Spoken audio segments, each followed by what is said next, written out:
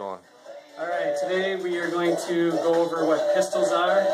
The ultimate goal of a pistol is to be able to, gonna, what you want to make sure of a pistol by the way, is that your, your ankle is in line with your butt. So if you're coming down in the pistol, you're going to come down and up. Obviously, you want to warm up first. So then you're going to come down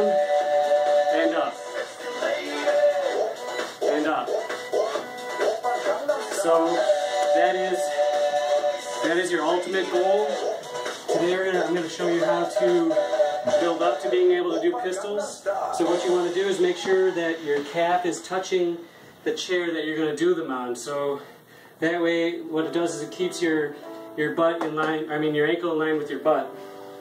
So you just want to tap, coming up, and then, okay? And then if you absolutely have to, you can come down and then up.